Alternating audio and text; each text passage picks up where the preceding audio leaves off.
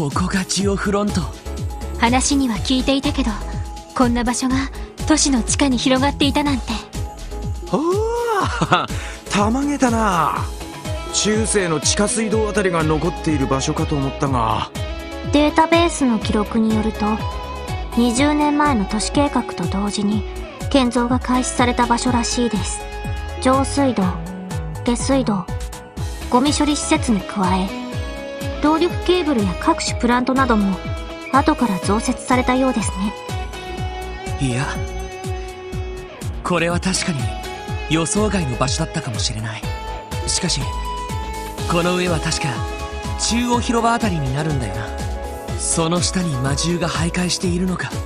普段は封鎖されているため都市に現れることはありませんがたまに工事現場の作業員の方々が襲われて怪我をすることがあるようです。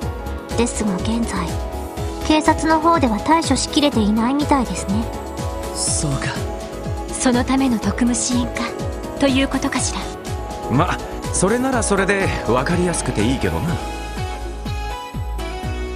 状況は分かった。捜査官の役目かどうかはともかく必要な仕事であるのは確かみたいだ。テストであるかどうかは別にしてきちんとやり遂げておこうおお真面目だね。でも確かにそうね。一つ一つ基本を確かめながら確実に進んでいきましょう。了解です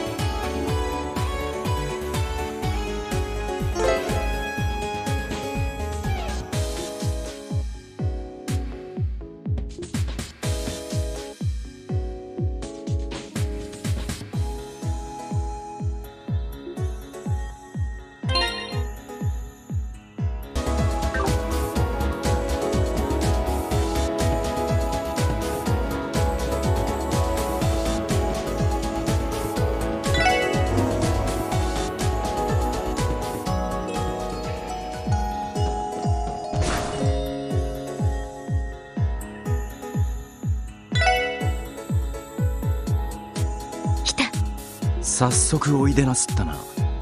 あれが魔獣。このメンバーでの初実戦だ。慎重に確実に仕掛けよう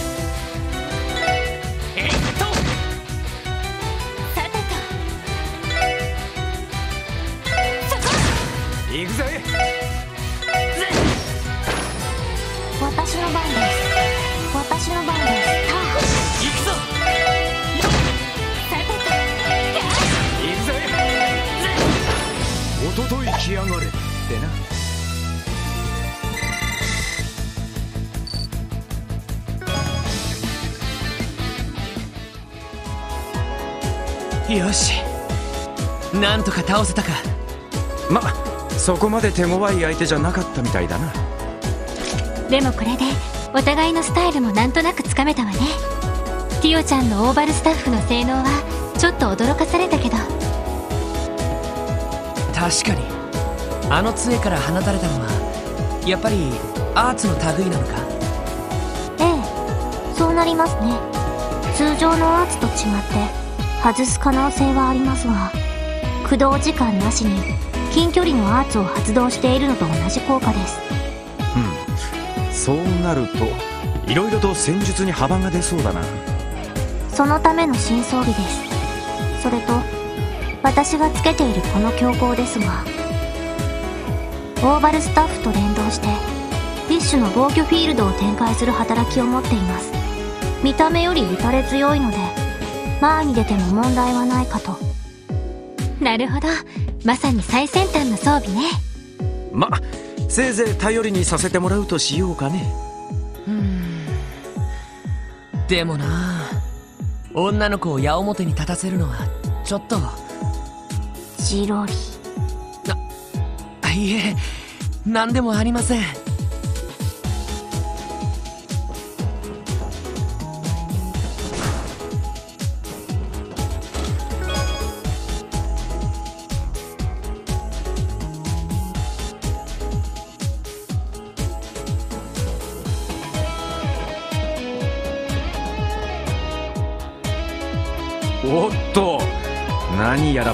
ぷよぷよしたのが嫌がるな。ああいう魔獣には武器での攻撃よりもオーバルアーツの方が有効だろう。みんな通常攻撃だけじゃなくアーツも使って戦おう。ええそうね。了解です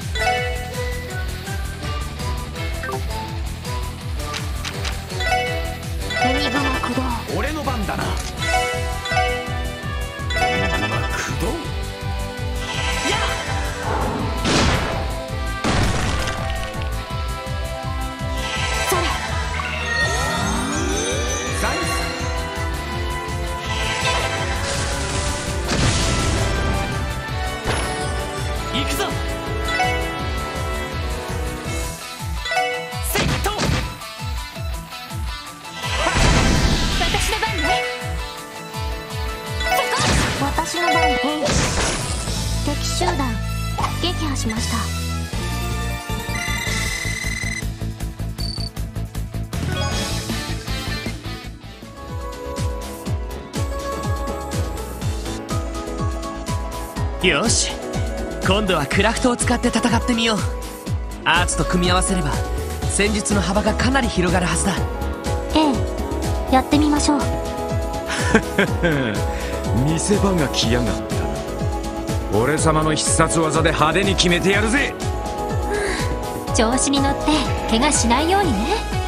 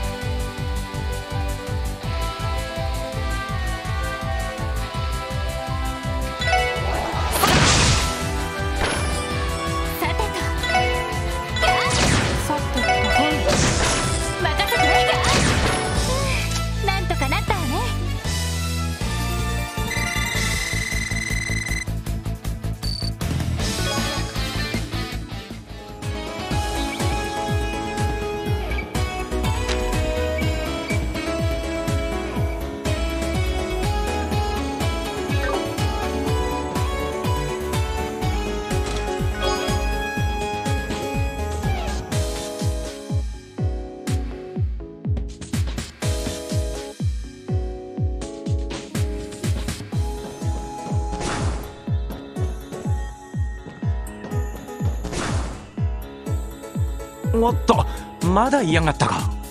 ちまちま戦うのも面倒になってきたな。なら S クラフトを使ってみようか。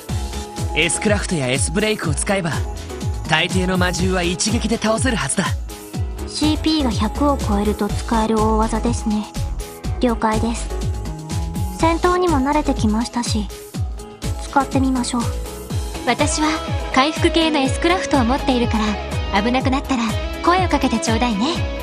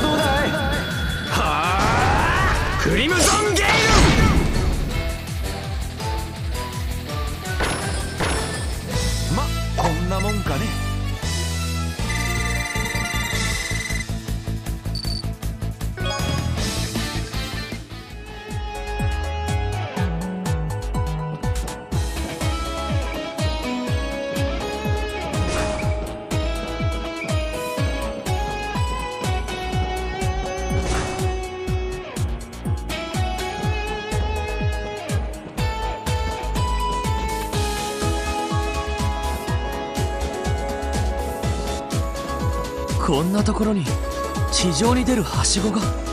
上はマンホールのようですね。データベースには記載されていませんが。なんで開きっぱなしなんだ？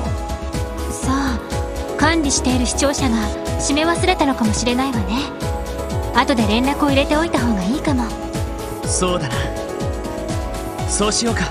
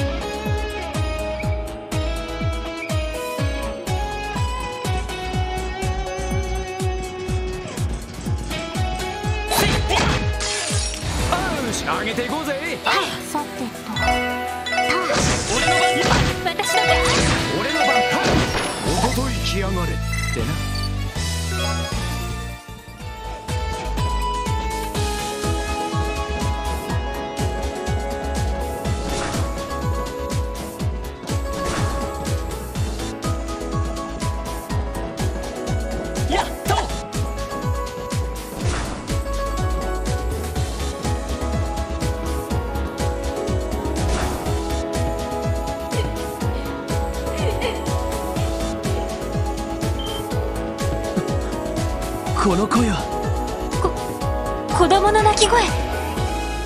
おいおいどういうことだよ。確かジオフロント内部は封鎖されてるんじゃないのか？私に言われてもあくまで公式的にそうなっているだけの話です。話は後だ。とにかく一刻も早く鳴き声の主を探してみよう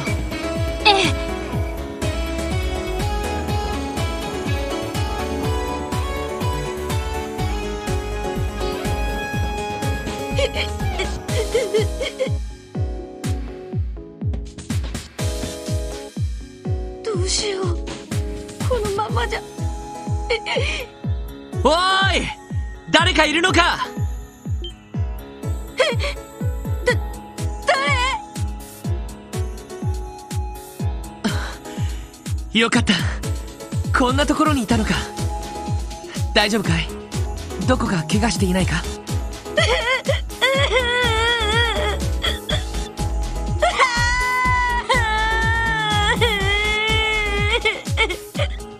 うわああらら。安心した途端気が緩んじゃったのね。ロイド私が変わるわ。あ。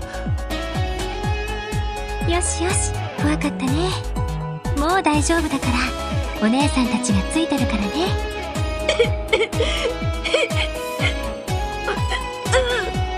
外にいた怖い魔獣はお姉さんたちが退治したわ。ここは暗くて狭いから一旦外に出ましょう。さあ抱っこしてあげるからしっかりと捕まっていてね。大丈夫です。僕もう立てますから。そっか。男の子だもんね名前は何て言うのかしら？えっとえっとアンリって言います。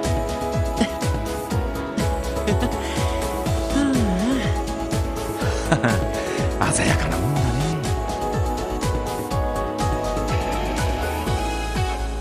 それでアンリ君どうしてこんな場所に？鍵がかかってたはずだけどどこから入って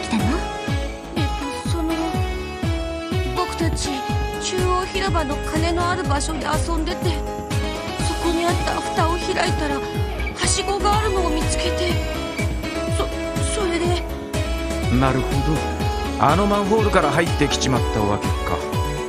あの入り口はデータベースに追記する必要がありそうですね。ちょちょっと待った。僕たちっていうことは他の子も一緒に入ったのか？はい友達の龍が一緒に冒険してみようって。ででも途中で怖い魔獣に見つかって逃げてるうちにはぐれちゃって。そうだったの。ねえロイドどうする？そうだな。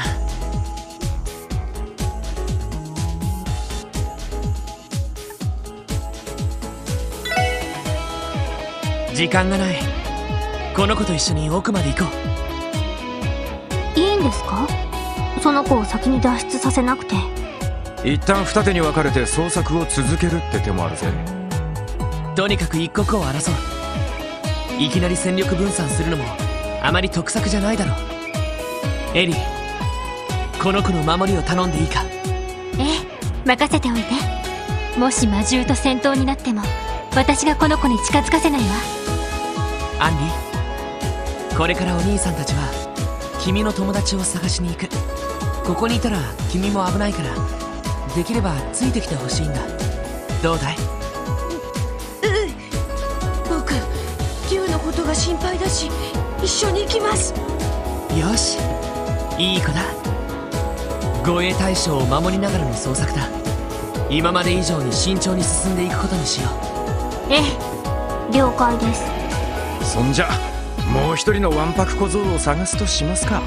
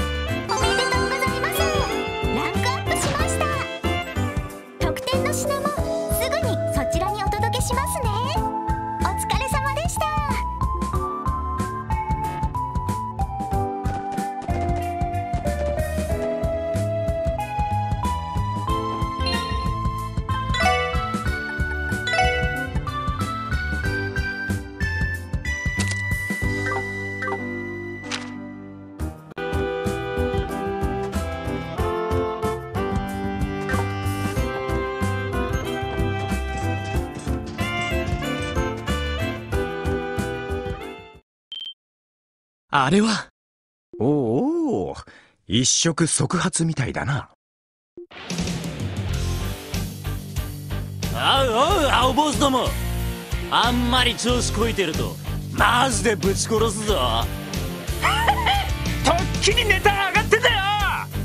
てめえらがクソ汚い真似したってよ。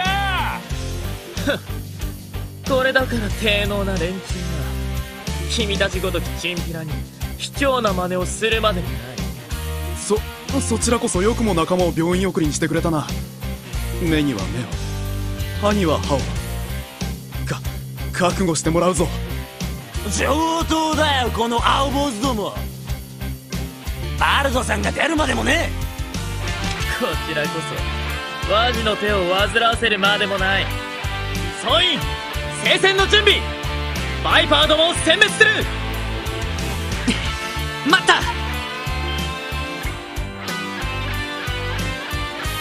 なんだ？見かけない顔双方喧嘩を中止してくれ。ここは公共の広場だ。他の住民が迷惑している。ななんだお前？いきなり現れて口出しを。まあ普通そうだわな。どうするの？ああ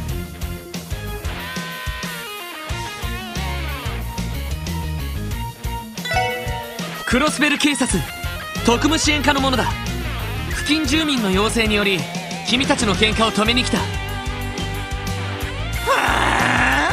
警察だ。少しこいてんじゃねえぞ！ほとんど警官も寄りつかないのに。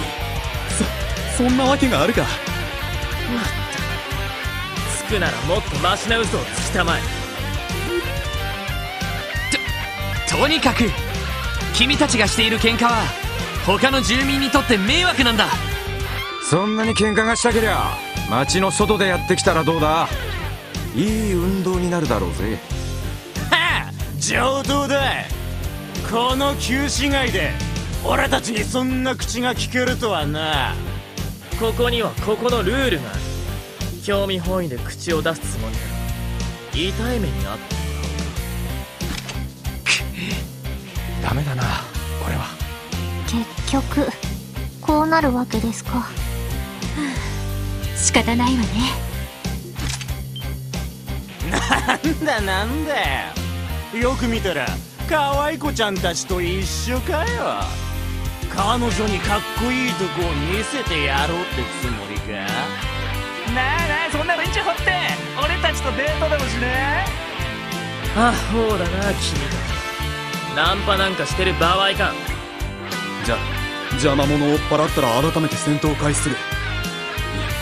いいいな赤マムシども。ああ上等だよ。そんじゃサクッとボコボコにすっかな。さあかかってこい。よし。ここいつらただの素人じゃないあ女どももただの連れかと思ったがあの杖はなんだ？ビリビリきたぞ。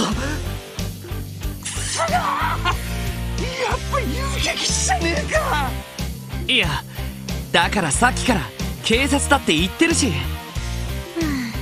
よっぽど信用ないのね。上等だ。こうなったら全員でぶちのめしてやる我々も遅れを取るな。たとえ相手が遊撃士でもテスタメンツの誇りを見せろ。おいおい何やってやがる。その辺にしときなよ。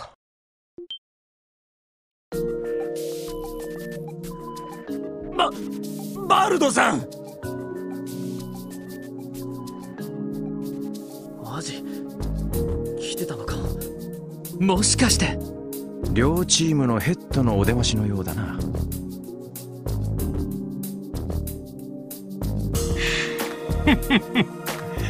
人が昼寝をしてる間に楽しそうなことをしてるじゃねえか。ああお前ら。こいつは一体どういうつもりだ？ああ。なんと言いますか。青坊主どもにお仕置きをしようとしたらこの変な連中がですね。タコが先走るなって言ったろうが。てめえら前座がしゃしゃり出て俺様の顔を潰すつもりかよ。めそうもないバルドさんの顔を潰すなんて。そんなことはこれっぽっちも。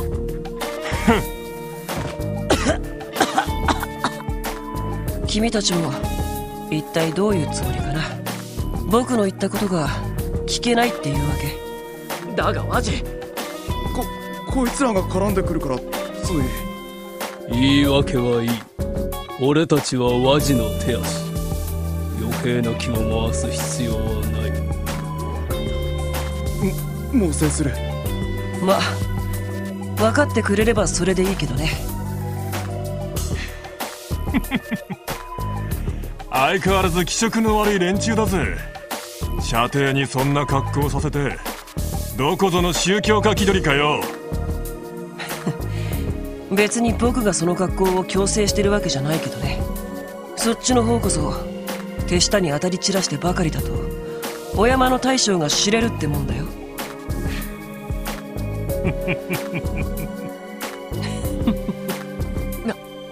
なんだ？どういう関係なのかしら？まあそれはともかく君たち警察の人って本当？とてもそうは見えないけど。そこそこやりそうだがな。特にそこの赤毛。いいガタイしてんじゃねえか。そりゃどうもあんたほどじゃないけどな。なあそっちの姉ちゃんたちは。とても警察には見えねえけどな なかなかの上玉じゃねえか。それはどうもう？ーん。新人だけど一応全員警察の人間だ。特務支援課発足されたばかりの新部署に所属している。へえ。今日出たクロスベルタイムズに載っていたあれか。さすがクロスベルタイムズ。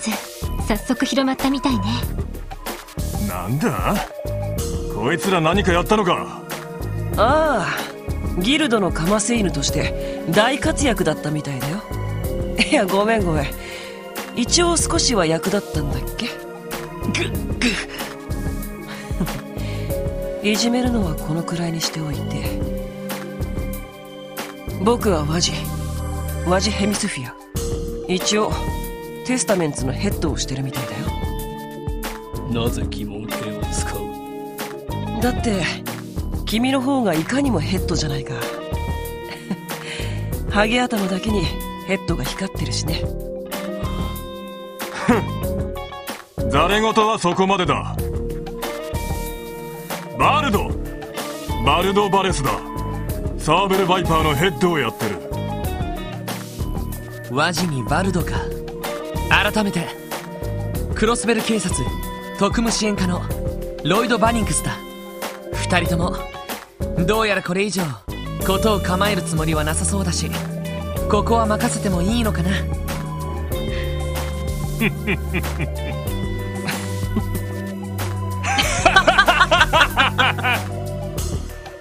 な何がおかしい？いやいやおめでたいなと思ってさ。ことを構えるつもりがない？何寝ぼけたことを言ってんだ。何？この場で手を引くのは単に準備が済んでないから。準備が終わり次第徹底的にやり合うつもりだよ。それも今までみたいなせこい小競り合いじゃあねえ。どちらが生き残るかお互い潰し合うつもりでな。おいおい殺し合いでもするつもりかよ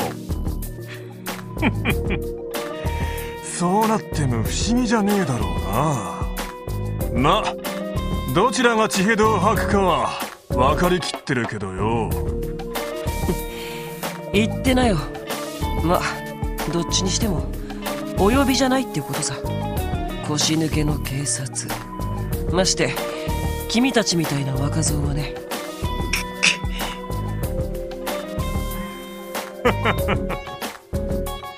行くぞてめえら！おおっす。こちらも引き上げるよ。了解だ。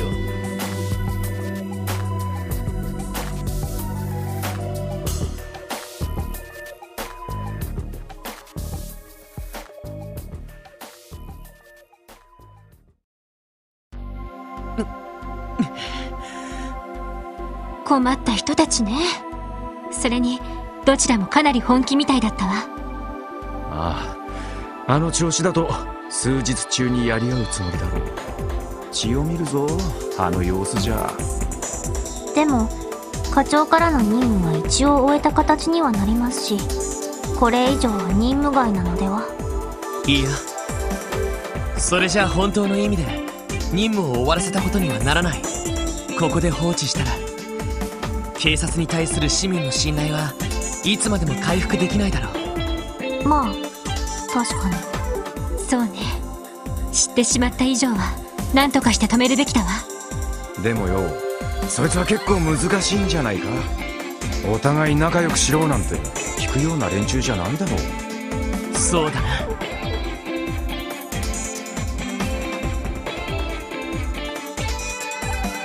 本部に報告したところで頼りになるとは思えないここは自分たちで何とかするしかなさそうだ。あら報告するだけしてみたらどう？もしかしたら旧市街の巡回を強化してくれるかもしれないわ。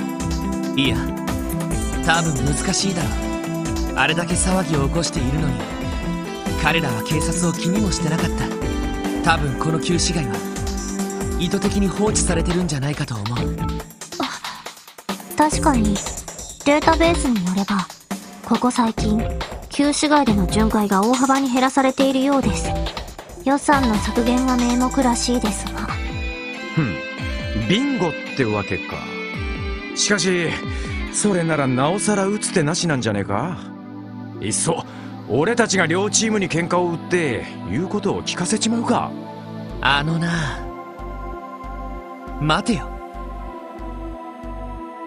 そういえばどうしてあの2チームは潰し合うつもりなんだ？どうしてって。そりゃ縄張り争いだの意地の張り合いってやつだろいやそれだけじゃ普通本気の潰し合いにはならない。利害が絡んでいるならともかく町の不良同士のいざこざだ。どうして念入りに準備してまで徹底的に潰し合う必要がある驚きました。ええ私も。うんなるほどね。なんだよ。そんなに変なこと言ったかな。ううん。さすが捜査官の資格を持っているだけはあるなって。いいとこついてると思うぜ。見たところヘッド同士がそこまで険悪な関係って雰囲気でもなかったしな。多分理由があるのではないかと当事者以外は知らない。本気で争うだけの理由が。ああ。まさに俺もそう思ってさ。だったらやるべきことは一つだろ。だな。サーベル・バイパーにテスタメンツ。まずはどちらに話を聞きに行くべきかしら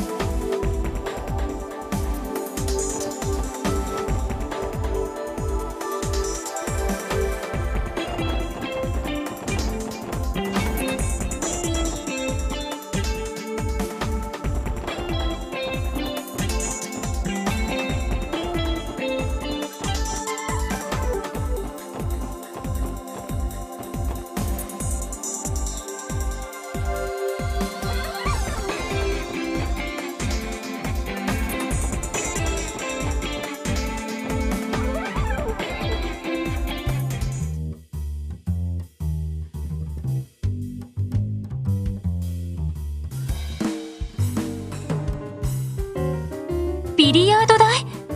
プールバーってやつか。なかなかいい趣味してるぜ。トリニティ。一応認可を受けた店ですね。なるほど。ここはテスタメンツのたまり場か。何用だ？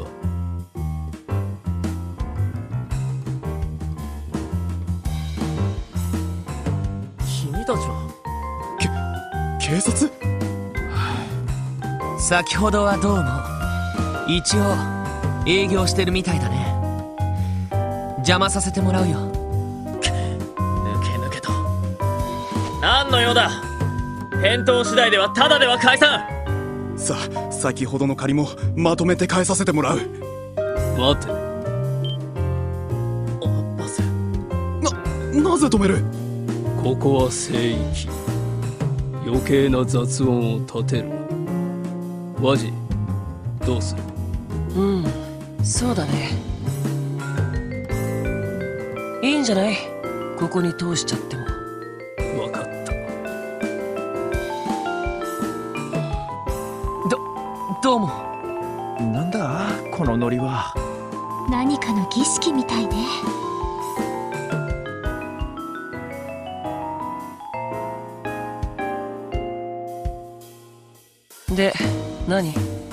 警察はお呼びじゃないって言ったはずだけど。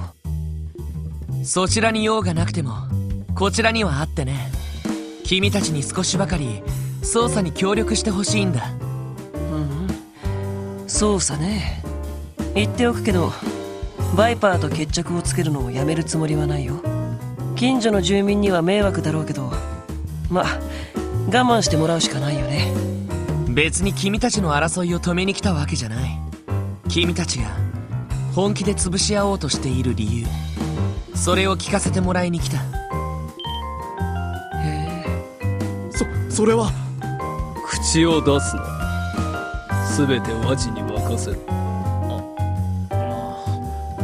その様子だと本当に何かあるみたいだな。どうか聞かせてくれないか。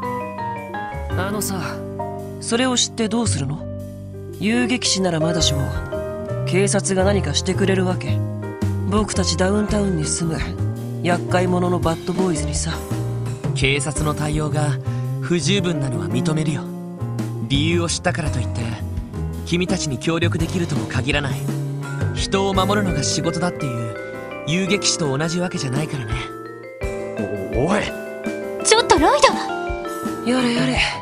お話にならないな。ギブアンドテイクなしに情報だけを引き出すつもりかい？いやギブならあるさ。え？捜査官の仕事は闇に埋もれた真実を明らかにして人と社会に光をもたらすこと。少なくとも俺はそんな風に教えられてきた。もし君たちがほんの少しでも疑念という闇を抱えているのならそれを晴らす手伝いはできると思う。それが俺たちの提供できるギブさこりゃまた。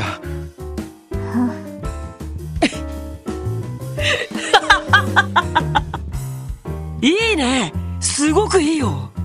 そんな臭いセリフそうそう聞けるもんじゃない。ロイドって言ったっけ？いや気に入っちゃったよ。別に受けを取るために言ったんじゃないけどな。それでどうなんだ？本気で潰し合う理由教えてくれる気はあるのか？まあいいか。あんな決め台詞まで聞かされておひねりを出さないほどケチじゃない。アッパス教えちゃっていいよ。分かった名乗っていなかったな。俺はアッバス。テスタメンツの一員だ。ああよろしく。でかいな何かやってるのか？事の発端は5日前の夜うちのメンバーの一人がこの近くの裏路地でバイパーどもの闇討ちにあった。闇討ち？そのただの喧嘩ではなくて？喧嘩なものか。後頭部に一撃食らって倒れたところをめった打ちだぞ！い一方的な襲撃だ。やられたやつは病院に運ばれている。そいつはえぐいな。その容体の方はどうなんだ？病院からの連絡ではまだ意識が戻らないらしい。手当ては済んだようだが頭を打ったらしいからな。今連絡を待っているところだ。そうか。あのやっぱり警察には届け出なかったの？伝えたところで我々のために動くとはとても思えんからな。それに犯人は明確だ。報復の邪魔をされては困る。そう。待ってください。襲われた人はまだ意識が戻ってないそうですけど。ならどうしてその人がサーベルバイパーに襲われたと分かったんですか？そういえばひょっとして状況証拠だけなのか？まあそこまで僕たちも短絡的じゃないよ。何せうちは連中と違って知性派で売ってるらしいからね。たかが不良に知性派ってのもどうかと思うけど。マジ？僕たちが彼らの仕業と断定した理由捜査官の君なら見当がつくんじゃないの？そうだな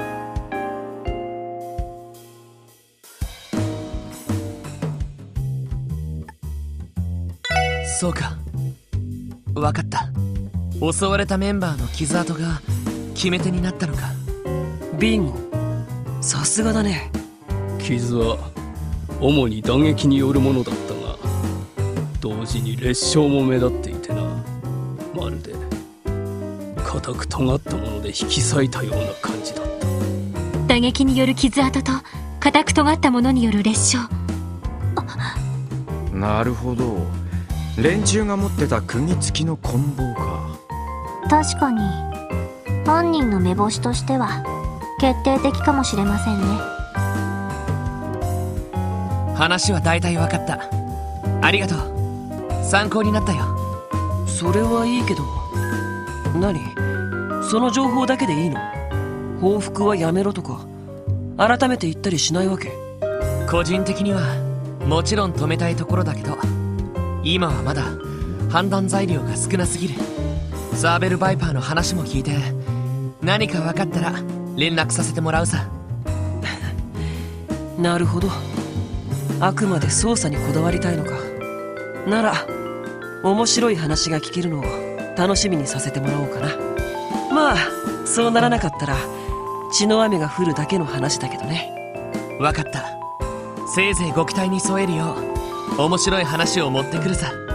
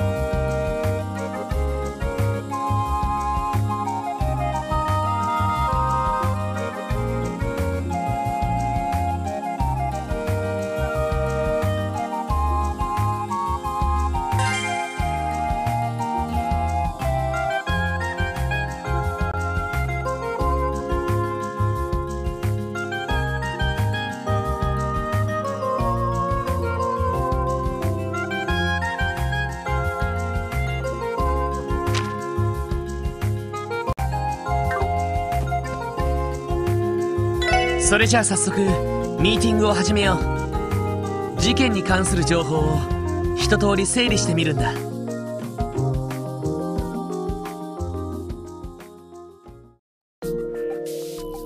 発端は5日前の真夜中。サーベル・バイパーとテスタメンツのメンバーがそれぞれ何者かに襲われた。場所は旧市街の別の2カ所。こことここになる。西の裏通りがテスタメンツのメンバーが襲われた場所。で東のライブハウス前がサーベル・バイパーのやつが襲われた場所ってことか。こうして見ると旧市街の反対側同士ですね。ああ同じ夜に起きてもすぐには分からなかったはずだそれぞれのたまり場に運び込んで手当てをしてから翌朝病院へ。確か襲われた2人は同じ救急車で運ばれたのよね。ああ救急車の人もさぞかし面食らっただろう。そしてようやく闇討ちがお互いの仕業だと確信して現在に至る。というところかな。やっぱり第三者がいたとしか思えねえぜどちらかのメンバー全員が口裏を合わせない限りどっちの犯行も不可能だろう。ああこの段階で2つの犯行を第三者の仕業だと仮定してしまっても構わないと思う。そうね。少しずつ可能性を絞らないと前に進めないし。でその第三者として上がってきた名前があるわけね。ああルバーチェ商会クロスベルの裏社会を支配しているというマフィアだ。グレイスさんの情報によれば半月ほど前その構成員が旧市街で目撃されている。その情報自体の真意を確かめている時間はないけどまずはルバーチが2件の傷害事件を起こしたという過程で話を進めてみよう。そうなるとやはり問題は動機ですか？ああそれが問題だ。逆に言えばそれが明らかにならない限り推理は振り出しに戻りかねない。動機ね。利害の絡みそうにないマフィアと2組の不良集団。それら3つの点を結ぶ線があるはず。ねえロイド。見当はついているのでしょ？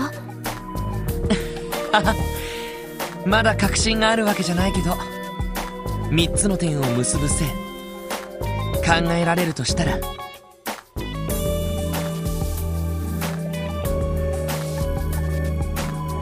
可能性があるとすれば現実的なのはヘイユエだろう。あああのヒゲ先生が教えてくれた情報か。確かに可能性としては一番ありそうな気がするけど。でもそうだとしたらどんな線になるのかしら点同士が線で結ばれるのは何らかの必然性となると平ゆえ絡みでマフィアが2組の不良集団を襲う必然性があるわけですか？そうか。これなら説明がつくぞ。なんかひらめいたか？必然性の話だよ。ヘイユへのクロスベル進出を受けてルバーチ側がすることといえばなんだ？それは単純に考えれば戦力増強だろう。兵隊の増強と武装の強化どちらも欲しいところだよな。マフィアなら武装の強化は密貿易で確保できるだろう。だが戦闘員の方はどうだ？そいつは。普通に考えたら両兵団を雇うところでしょうけど。ううん。ダメねクロスベルはいろいろな意味で周辺諸国から注目されすぎている。不戦条約の手前もあるし両兵団を勝手に動かしたりしたら帝国と共和国が黙っていないわ。それは両者の意を受ける政治家や議員たちにも同じこと。ロイドさんもしかして。その兵隊候補として不良どもをってことかよ。なあ血の気が多くしかも統率されている若者たち。この町で運用できる戦力としてはまさにうってつけだろう。しかしどちらのグループにも目障りな存在がいるとしたら。なるほど。あのワジ君は間違ってもマフィアに協力しそうにないしあのバルドさんもお山の大将でいたいタイプ。とてもマフィアの下で働きそうにはありませんね。そこでお互いを潰し合わせて弱体化したあたりを見計らって一気に取り込みにかかる。なるほど。そういう筋書きかよ。あくまで可能性の一つさ。現時点である情報を一つずつ組み立てた場合のね。またまた謙遜するなっての。私もかなり的を射ていると思うわ。推理にも無理がないし状況的な説得力もあるもの。伊達に捜査官の資格を持ってはいませんね。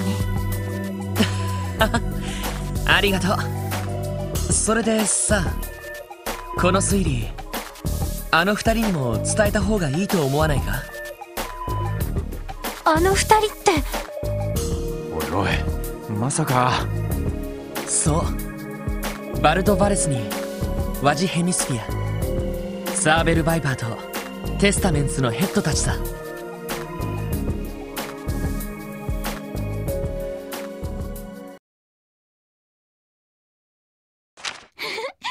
さすが皆さんです。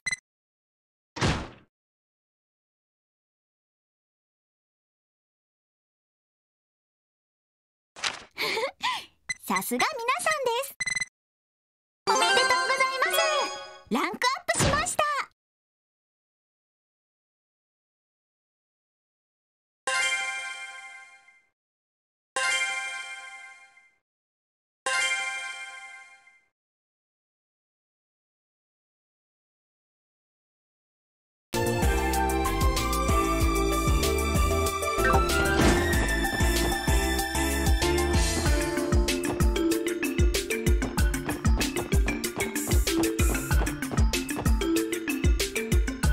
さてとこの上を調べさせてもらうかランディ手伝ってくれ。よし来た。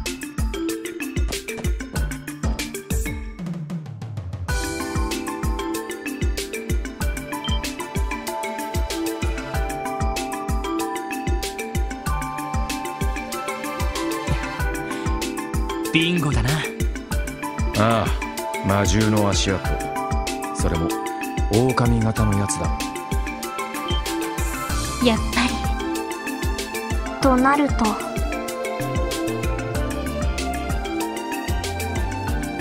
あちらの方から侵入された可能性が高そうですね。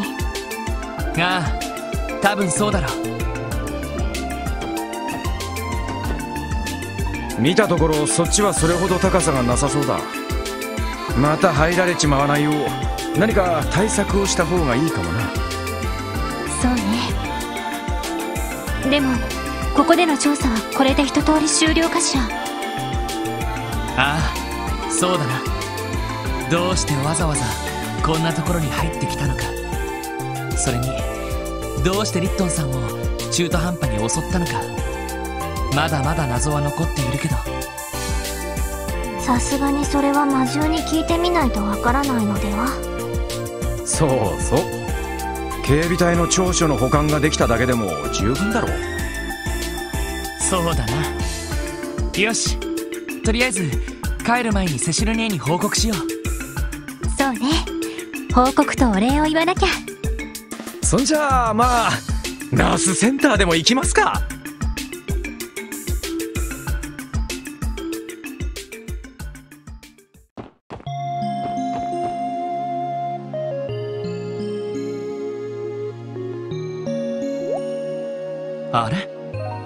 したの？いや向こうから飛び乗ってきたらこの上に足跡がつきそうだけど埃がついたままってことはしばらくこの状態だったんだろうし。ま別にそこまでおかしなことじゃないかな。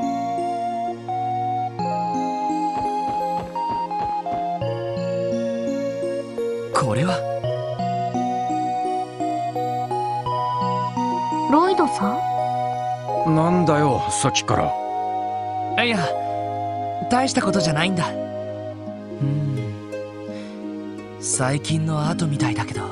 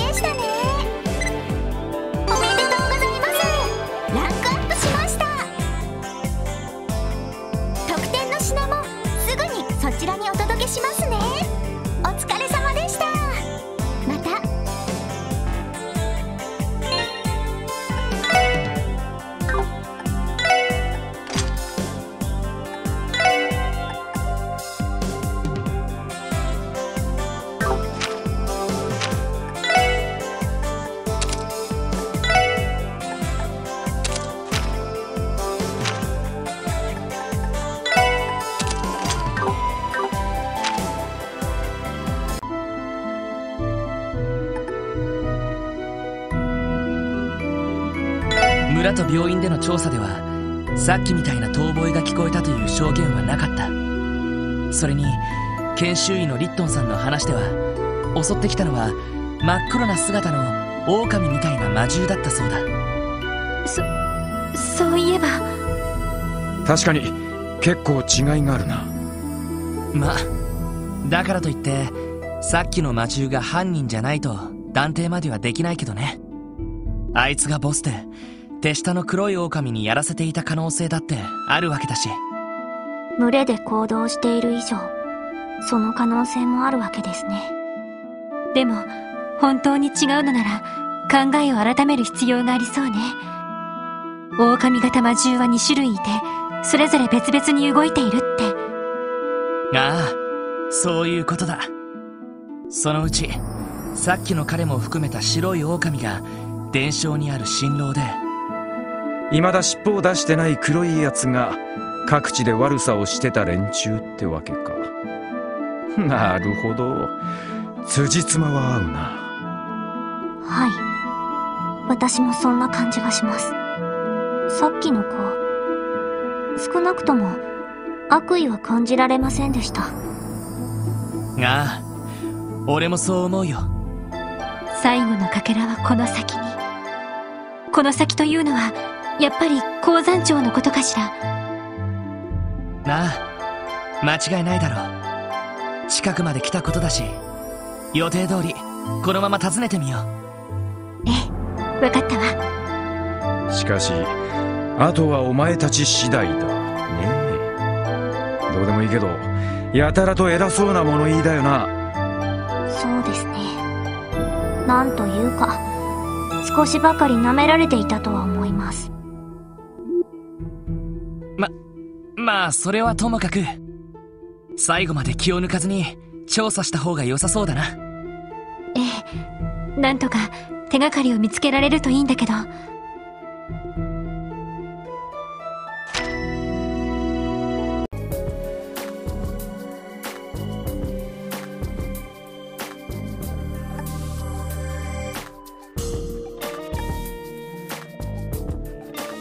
そう一連の調査で本来判明しているはずの情報。それは魔獣の目的だと思う。そういや病院の被害を考えると飢えて各地を襲ったってわけじゃなさそうなんだよな。アルモリカ村の村長さんによれば伝承にある新郎が警告している可能性もあるということだけど。でも実際に各地を襲ったのは黒い狼たちの可能性が高いのよね。はい。そうだと思います。そうなると確かに目的が全くわからなくなりますね。ああ。だがここで黒い狼たちの気まぐれと判断するのは早すぎる。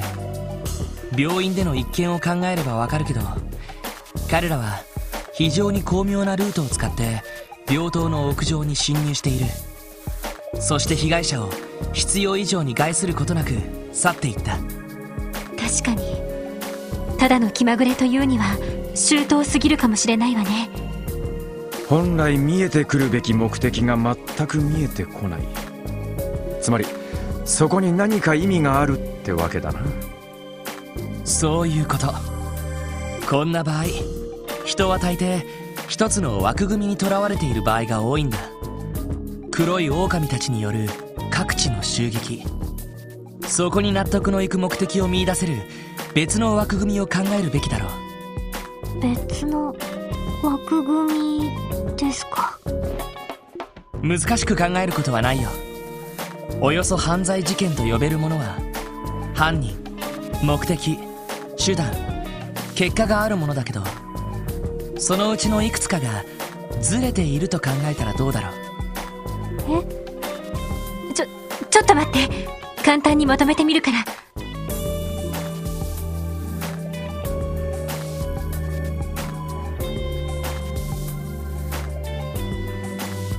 うん。そんなところだろうな。それでこいつがどうずれてるんだ？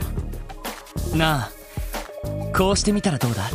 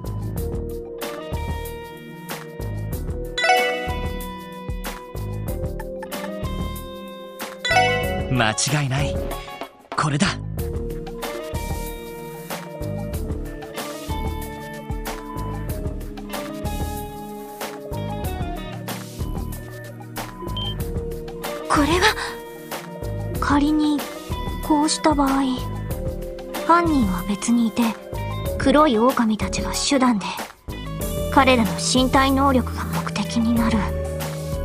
おいおい完全に見方が変わったな。ってことは狼どもの背後に人間がいる可能性があるわけか。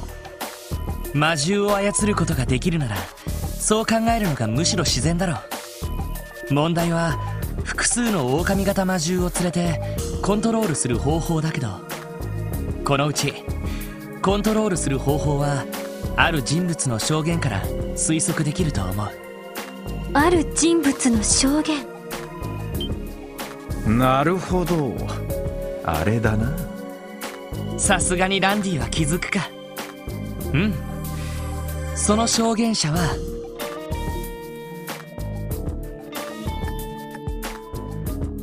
雫マクレインあの遊撃士アリオスの娘さんの証言だよ。雫さんの証言。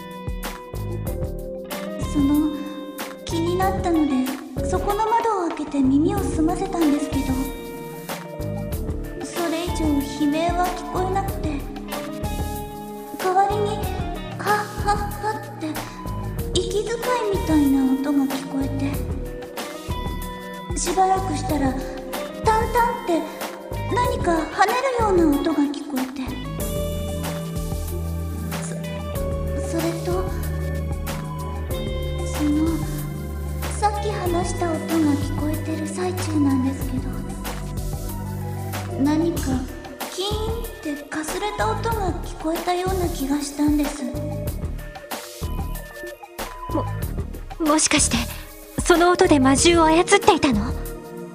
ああその可能性が高いだろう。狼や犬のような獣は人には聞こえない周波数の音を聞き取ることができるそうです。それを利用した特殊な笛が昔からあるらしいですが。いわゆる犬笛だな。今でも軍用犬なんかを犬笛で操る技術は残っているぜ。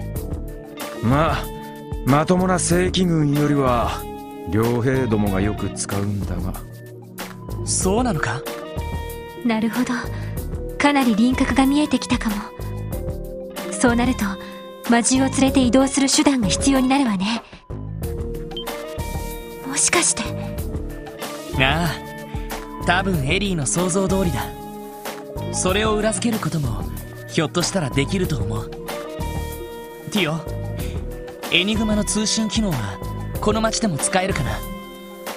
ええ。実習内ならなんとかギリギリ通じるかと。なんだどこに連絡するんだ？なあ医科大学の受付さ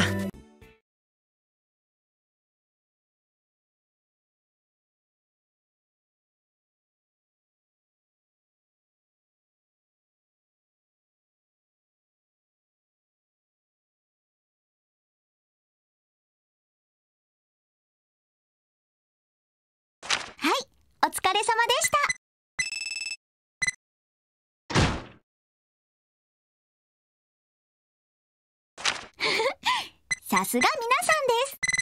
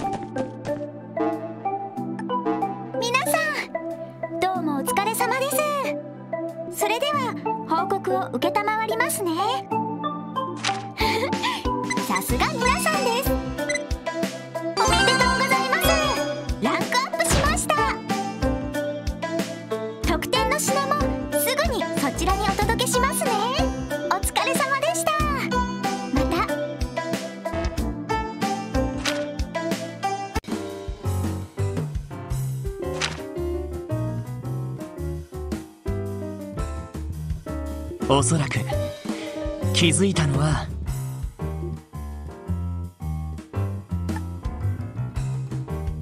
差出人の名前。これに反応したんだと思う。銀。結局はこいつか。この人物がルバーチェの関係者という可能性はないのかしら？いや関係があるとしたらあの若頭の態度はおかしいまるで関係がないことを最初から確信しているようなそんな感じじゃなかったか？なるほど。確かにそんな素振りだったな。ルバーチェと無関係でありながら彼らが強く意識している存在。そういう人物ということですか？ああそうだと思う。だとするとルバーチェの情報に詳しい人に相談してみた方が良さそうね。法律事務所のイアン先生とか。ああそうだな。本当だったらグレイスさんにも相談してみたいところだけど。まあの姉さんに話したら脅迫状のことまで強引に聞き出してくるだろうな。アルカンシェルにとっては格好のスキャンダルになりそうですね。ああだから正直当てにしない方がいいだろう。あとは他にも心当たりがあるなら当たってみよう。もしかしたら思いがけない情報が入ってくるかもしれない。ええそうね。どどうした？ううん何でもない。それでは早速聞き込みを始めましょう。どこを回るにせよ法律事務所には行かないとね。なあそうだな。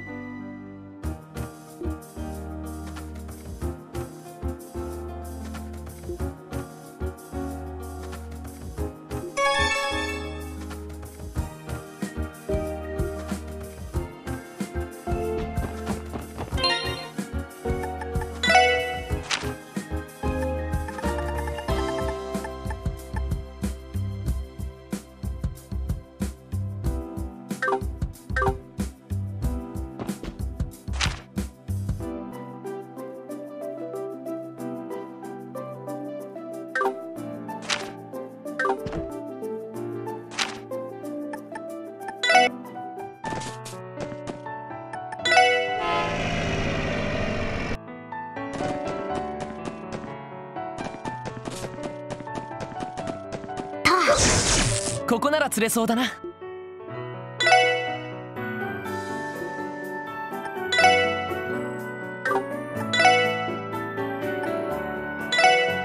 それ。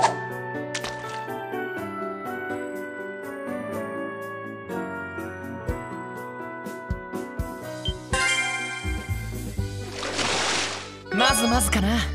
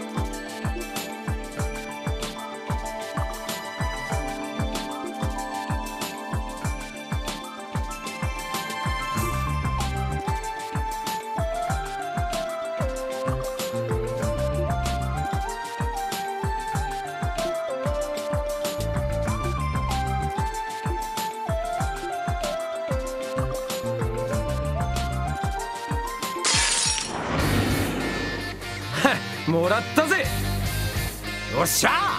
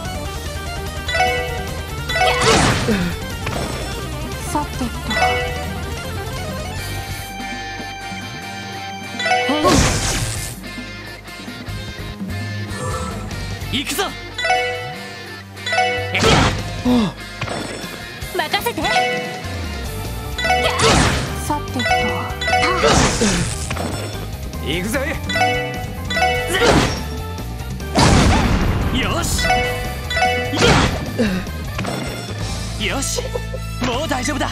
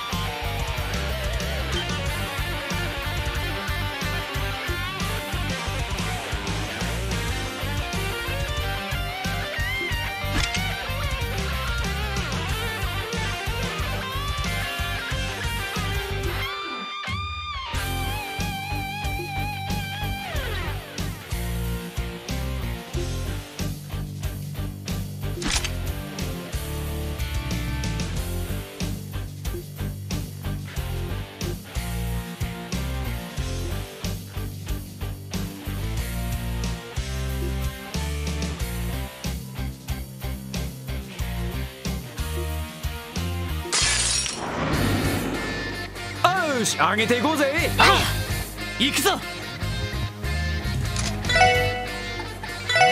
みんな。さてと。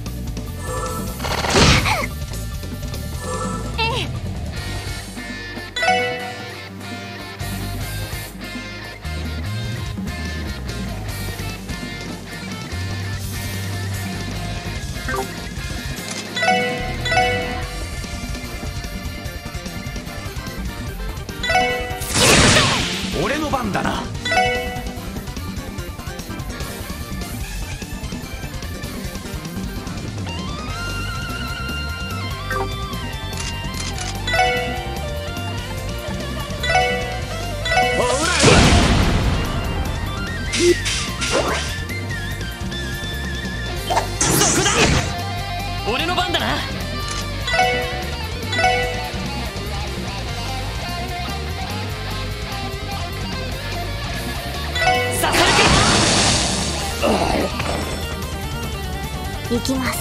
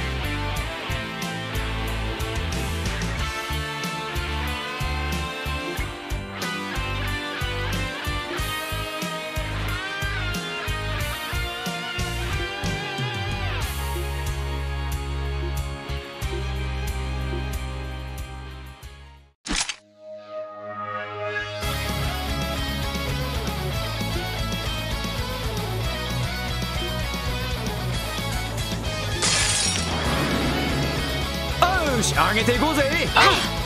任せろ。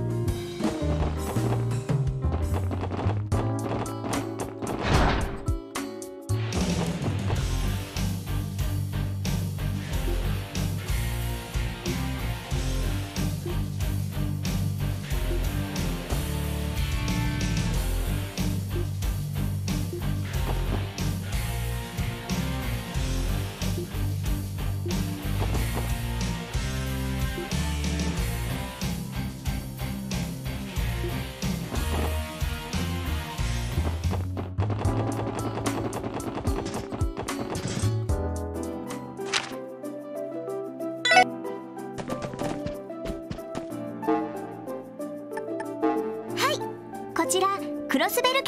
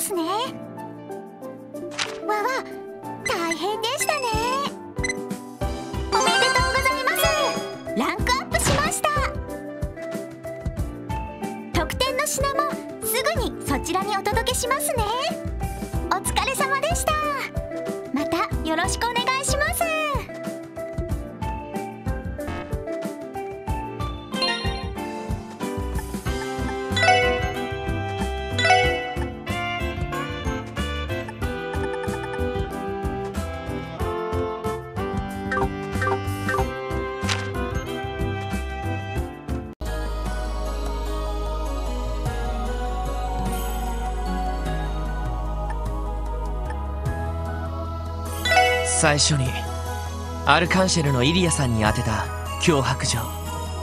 それについての話だな。その通り。ではその脅迫状の何について話があるというのかな？それは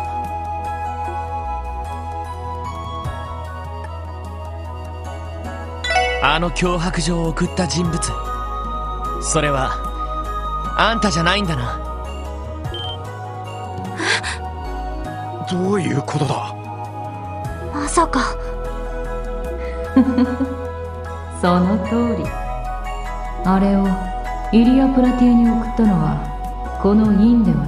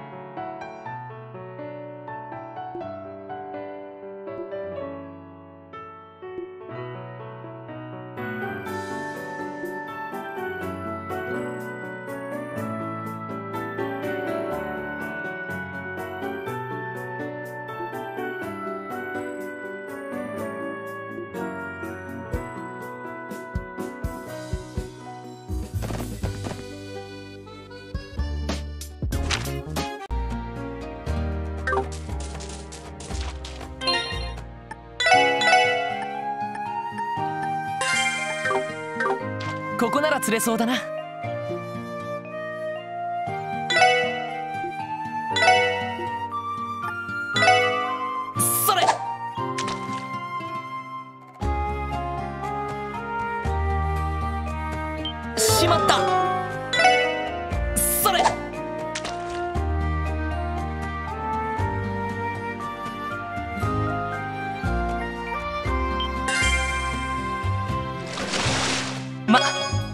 こんなもんかな。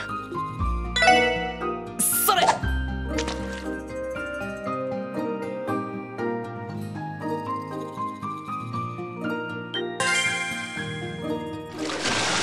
まこんなもんかな。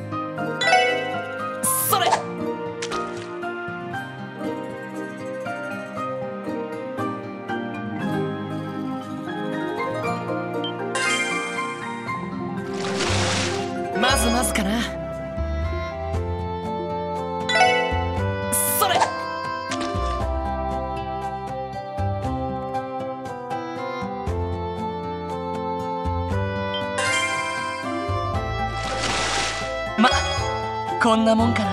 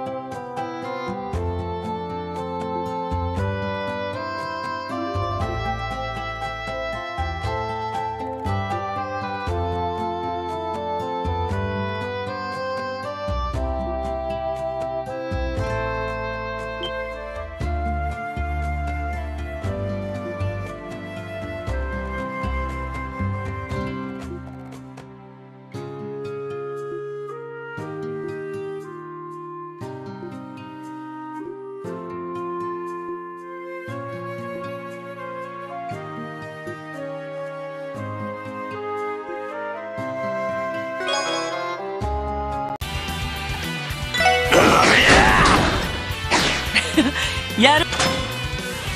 ロイドランディ選手なかなかの度胸でドラム缶を回避。ワジ選手の。どうする？仕掛けよう。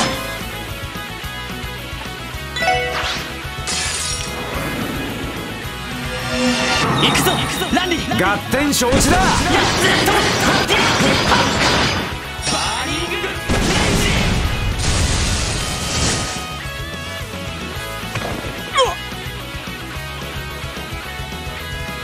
悪いな。先に。さ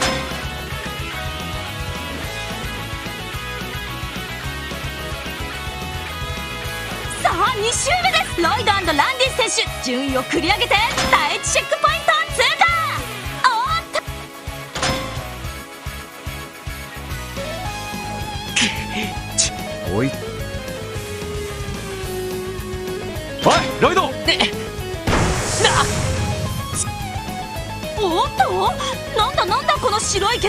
ひょっとしてエステルチームが仕掛けたトラップだったのか？ごめんね。お先に。追いかけるぞ。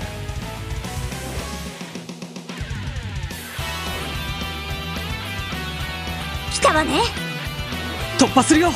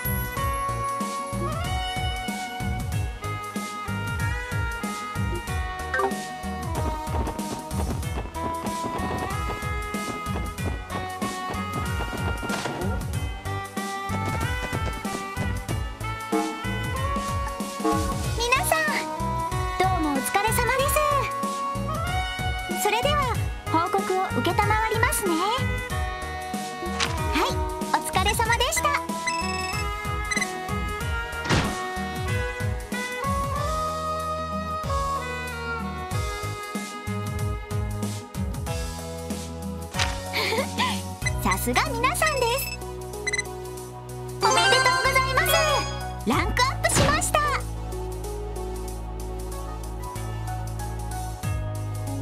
特典の品もすぐにそちらにお届けしますね。お疲れ様でした。またよろしくお願いします。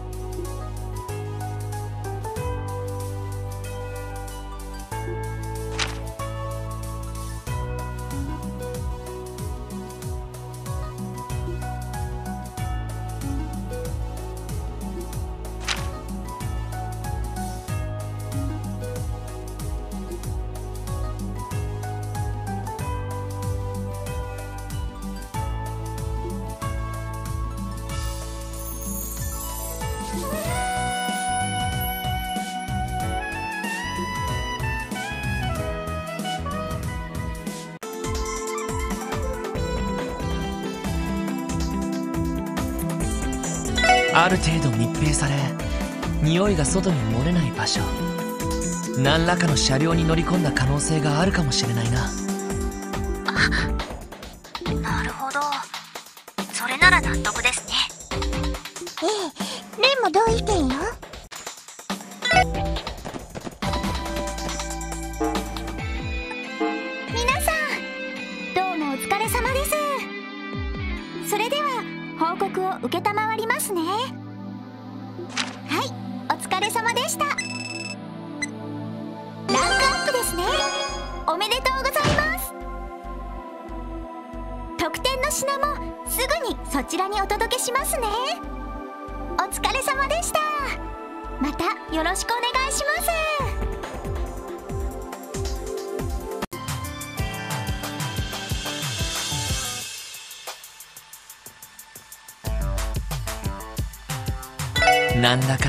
者が現れた。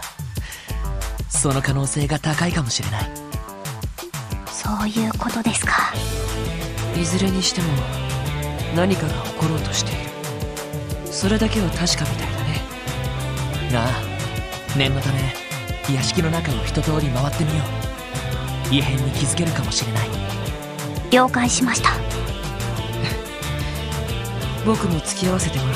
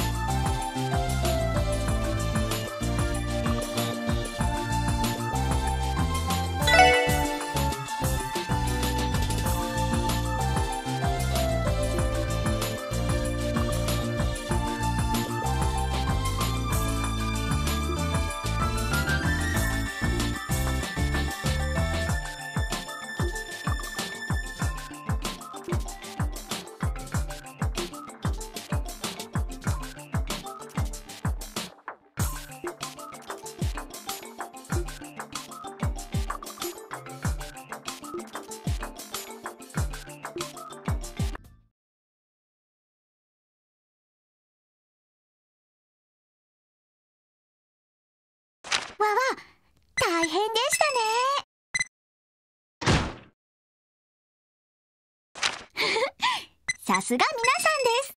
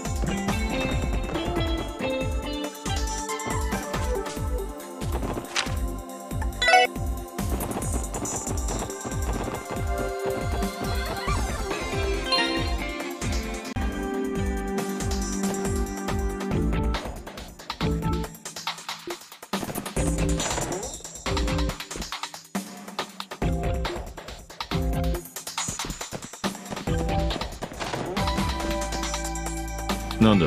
遅かったな。ヘイユエの方の聞き込みはそんなに時間がかかったのか？いえ実はそれとは別に気になる事件に出くわしまして。ヘイユエ襲撃事件と合わせて一通り報告させていただきます。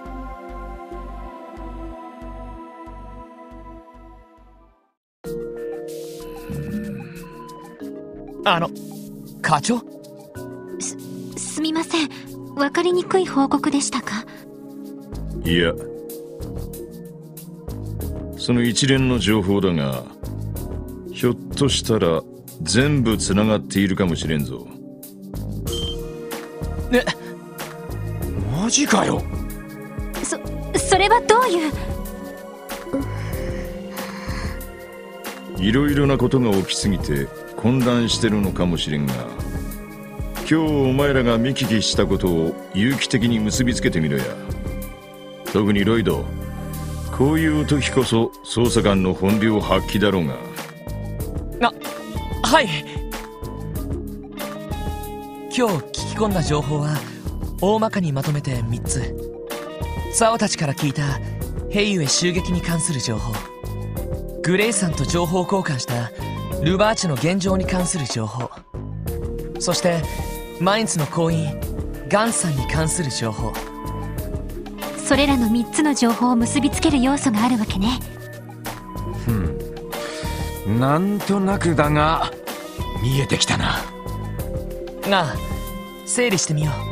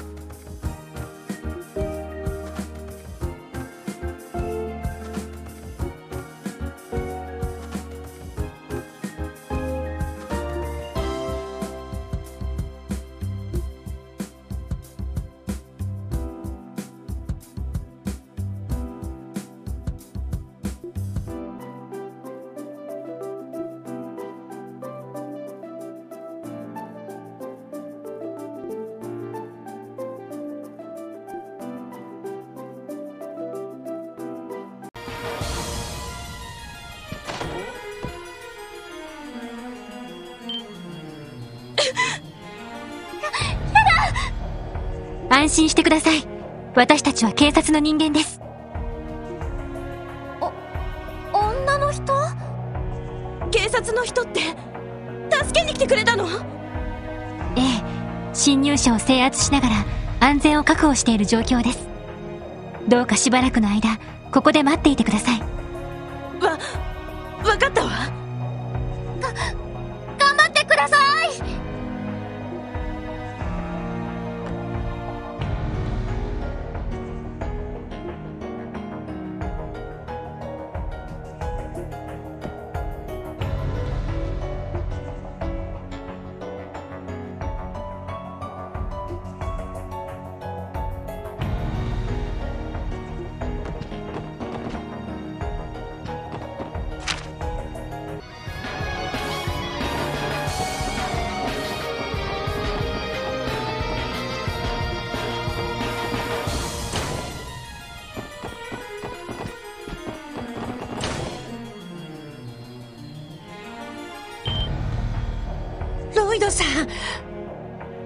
ラさん。よかった。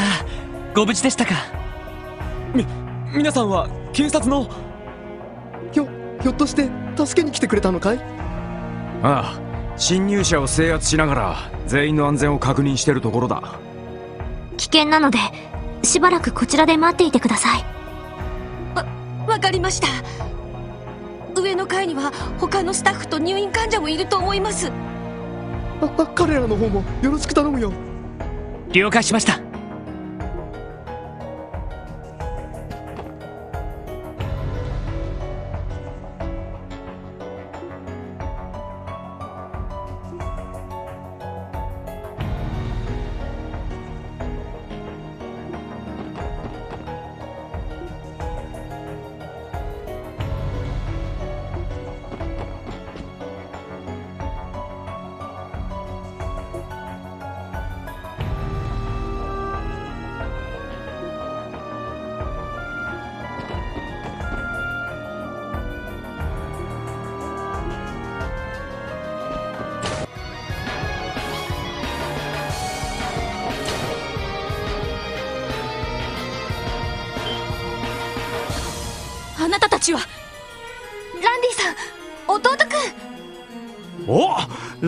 ちゃん無事だったか？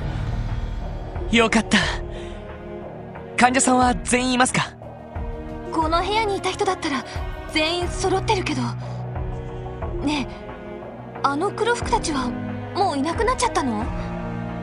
いいえ残念ながらまだです。今は侵入者を制圧しながら皆さんの安全を確認しています。危険かもしれませんからここで待っていてください分かったわ多分エイダやフィリアセシル先輩も残ってると思う。絶対に助けてあげて。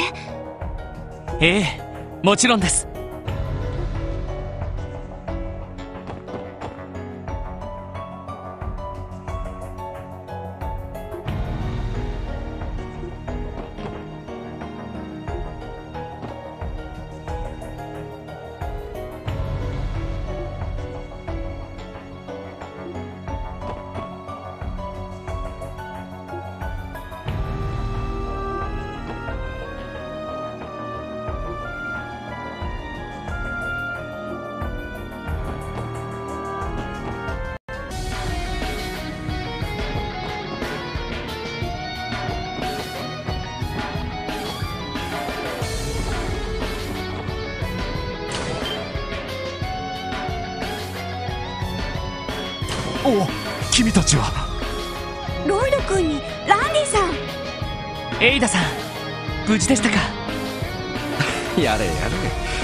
患者も揃ってるみたいだな。君たちが来たということはマフィアたちは去ったのかね？いえまだです。現在彼らを制圧しながら皆さんの安全を確認しているところです。そうなると私たちは下手にここから動かない方がいいのかしら？ええそうしていただけると。病院内が完全に安全になるまで私たちに任せてください。分かったよろしく頼む。3階には個室の患者さんが残っていると思うわ。セシルさんとフィリアもいるはずだからよろしくお願いするわね。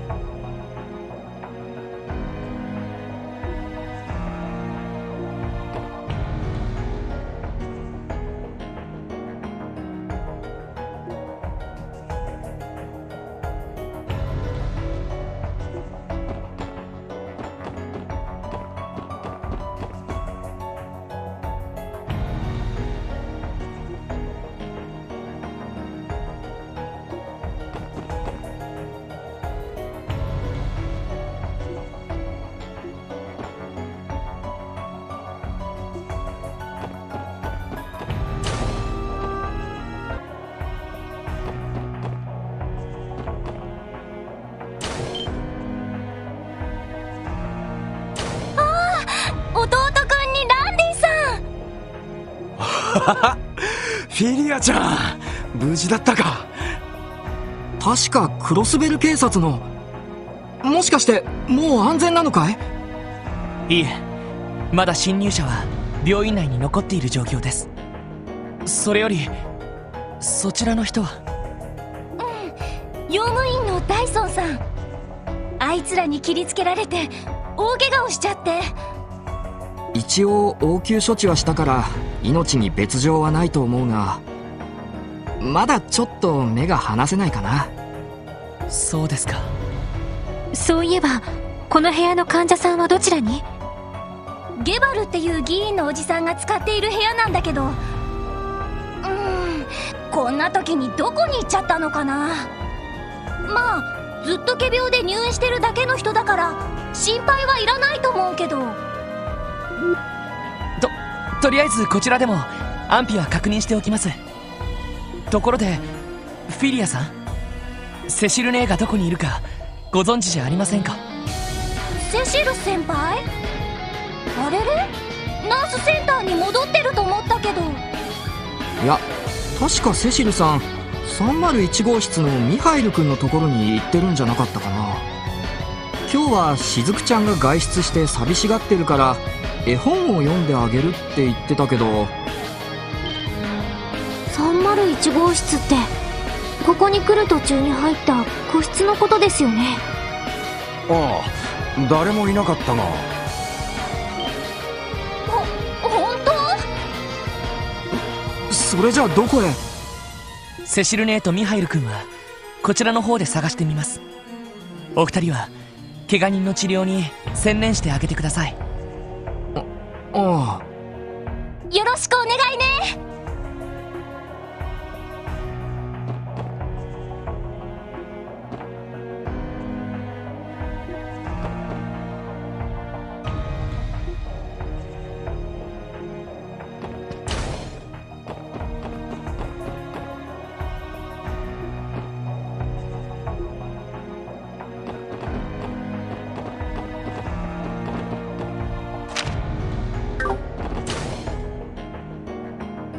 やっぱり誰もいないか。ベッドの下に隠れてるとかそんなことはないわよね。そうでしたら私が気づきますし。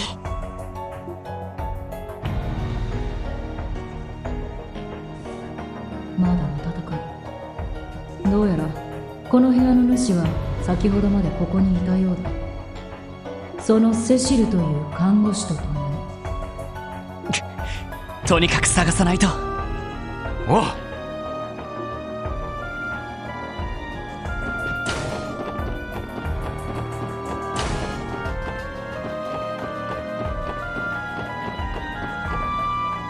あれ？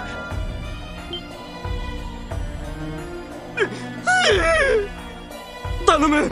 頼むから命だけはお助けを。なんだこのおっさんは。帝国派のゲバルギ員。フィリアさんに聞いた人物ね。なんだお前たちは？マフィアどもではないのか？クロスベル警察特務支援課のものです。ゲバル議員ここで何を？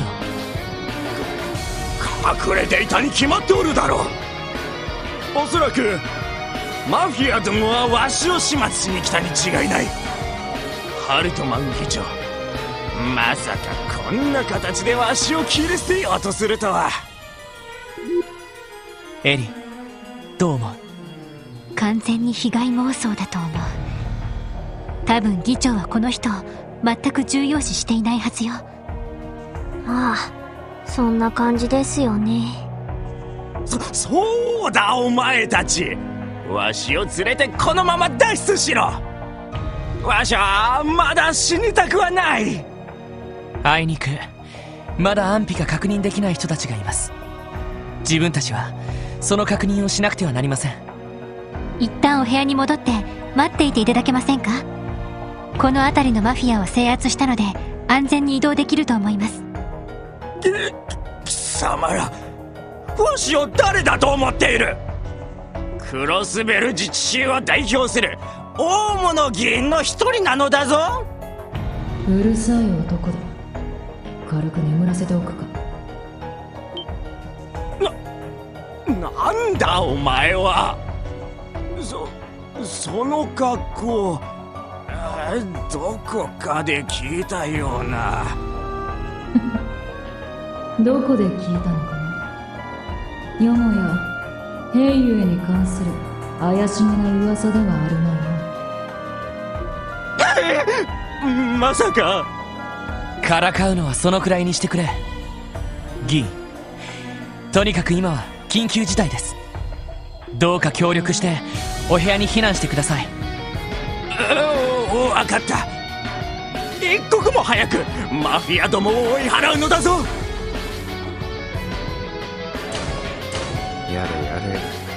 入院患者とは思えねえ足の速さだな。まあ仮病で入院していただけのようですし。時間を取られた。セシル姉たちを探しに行こう。ええ。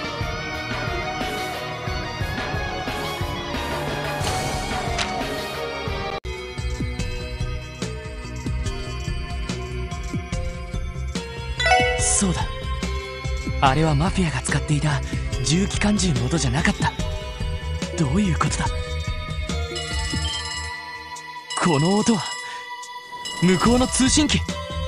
早く出ましょう。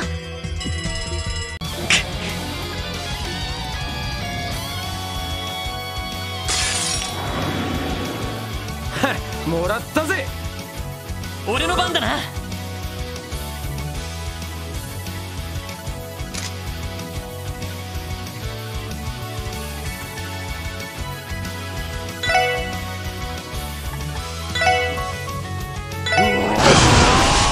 お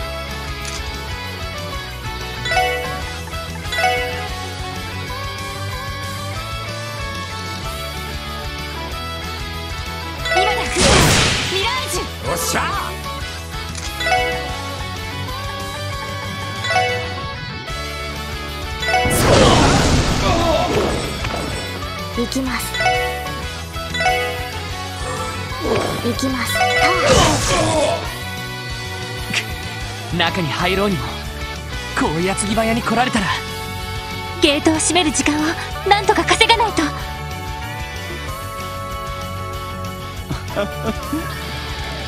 頑張りますね。インドのの報告から判断して。今回はおとなしく引っ込んでいるしかなさそうでしたが。存外面白いものが見られそうです。ですが曹様。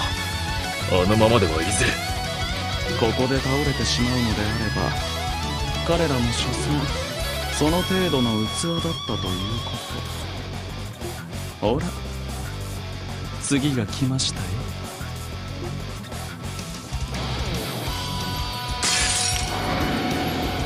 データ収集を開始します。任せろ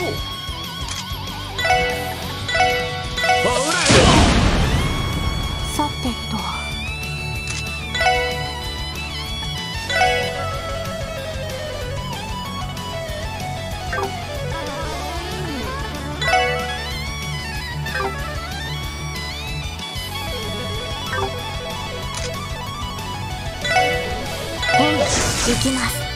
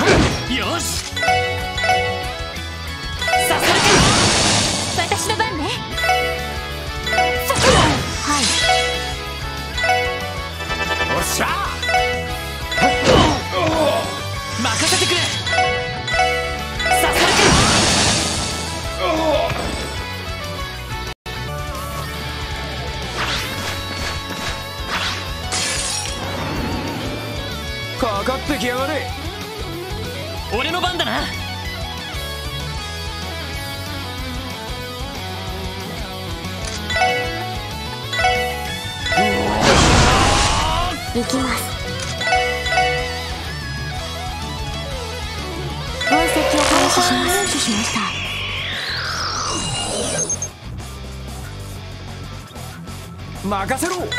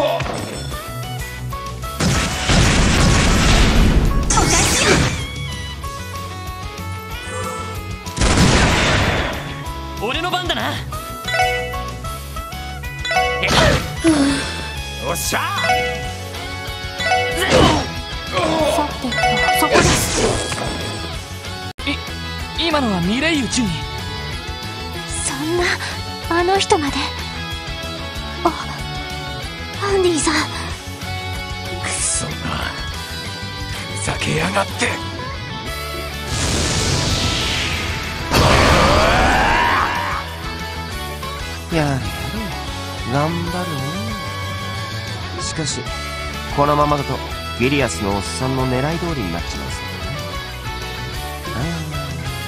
どうすかね。あっち次で終わりかもな。せいぜい頑張れよ。